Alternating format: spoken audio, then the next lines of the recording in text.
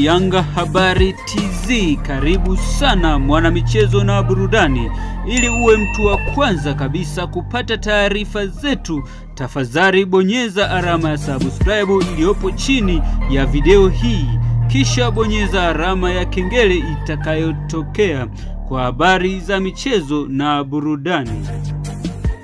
Yes, e bwana Simon hepigod God Msuva jioni hii ameonekana kwenye kiwanja cha mazoezi cha Dar es Salaam Young Africans kwa ajili ya kujiandaa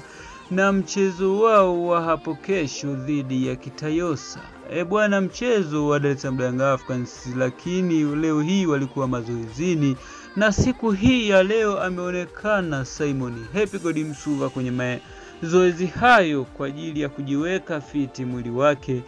ili muda wowote atakavyoanza kuicheza klabu hii ya Dar es Salaam Young Africans, basi mwili wake uwe fiti kalikiti na uweze kuzoea hali ya hewa hapa nchini Tanzania. Haya mambo ambayo Simon Happy Msuva anayafanya kwenye uwanja wa mazoezi wa Dar es Salaam Young Africans, na moja ya video imeonyesha kuwa akiwa pembeni, huyu ni Pacome Zozoua ambaye alikuwa karibu yake na Simon Hepigod Msuva, na watu kuuliza kuwa je, ni tayari?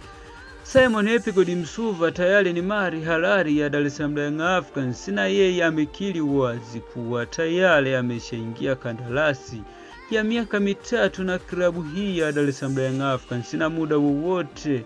tayari uongozi wa Dar es Salaam Young Africans unaweza kumthibitisha kwa mashabiki zao wa Dar es Salaam Young Africans kuwa tayari mchezaji huyu